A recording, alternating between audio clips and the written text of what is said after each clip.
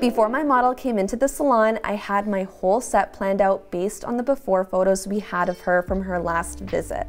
It wasn't until I started working that I realized I quickly needed to reroute all of my plans. My client got her lashes done by another artist that unfortunately caused some lash damage. So today I'm going to share with you my experience and how I worked through the service. It wasn't until after I'd cleansed the lashes and applied the eye pads that I noticed my client didn't have very many natural lashes. Although we had both already created a plan for the set, I needed to be transparent with her and explain that her lashes did not look the same as they did the last time she saw us. She was super understanding and was totally on board with doing a completely different style than what we had already had planned. It's definitely best to keep it honest with your client, educate them the best way you can, and usually they are super understanding. But this doesn't always mean that you have to lash your client either. If you're noticing that your client has very brittle lashes, both eyes have large gaps, and are completely uneven, then just say, you know what, I'm super sorry. I would love to send you home with a beautiful set of lashes, but after going through and assessing your natural lash health,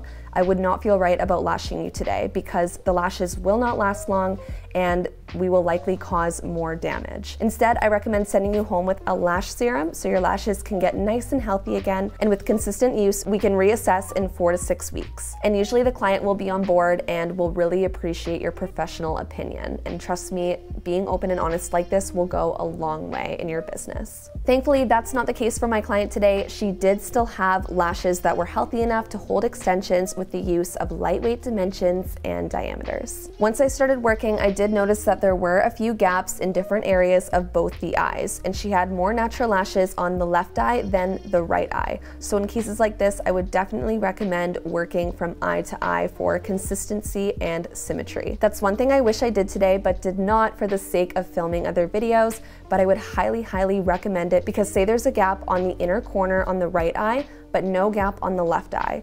You want to lower your dimensions on the left eye and maybe even leave out a couple natural lashes as well, just to create balance between both the eyes.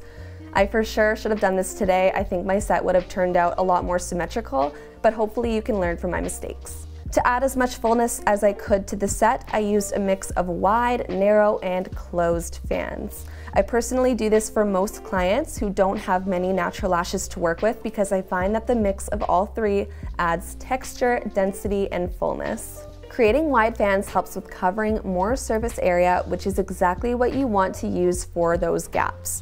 And the use of narrow stem fans adds some density to the set.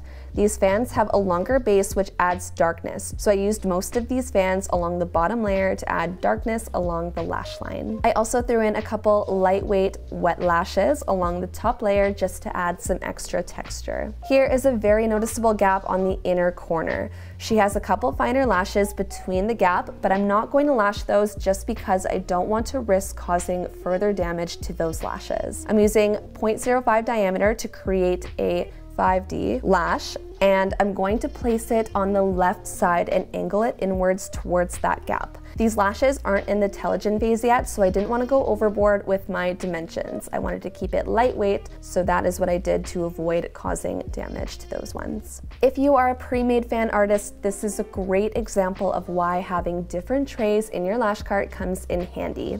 You can even use a mix of pre-made fans and handmade fans. Volume is volume, so the choice is up to you and how you want to create your masterpiece, as long as you are always keeping the natural lash health in mind. If you have ever had cover a gap along the lash line or you have any lash damage stories, let us know in the comments below. Here is how the set turned out. As I mentioned earlier, I do wish that I went back and forth between both eyes I feel like they would have looked a lot more balanced that way, but I'm super happy I was still able to give her a set of lashes and I can't wait to have her back next time to give her an even better set. If you enjoyed this video, don't forget to like, comment, subscribe, and ring that bell so you never miss out on new lash content. We'll see you next time.